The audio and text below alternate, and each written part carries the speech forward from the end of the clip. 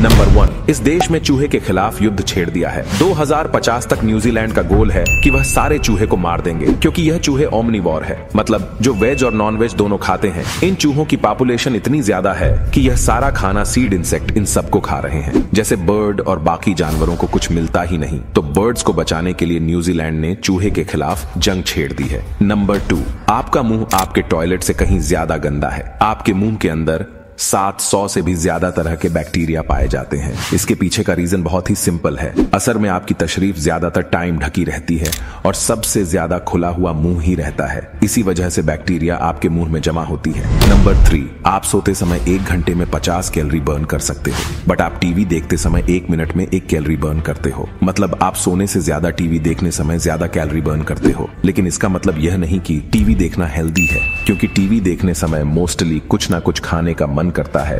Number four, दुनिया में सबसे ज़्यादा शॉपिंग क्रिसमस के दिन होती है। दोपहर के तीन से चार बजे के बीच में ऐसा इसलिए क्योंकि क्रिश्चियन की पॉपुलेशन पूरे वर्ल्ड में सबसे ज़्यादा है और जो लोग क्रिश्चियन नहीं है, वह भी क्रिसमस बनाना बहुत पसंद करते हैं और इसमें एक दूसरे के लिए बहुत से गिफ्ट भी खरीदते हैं।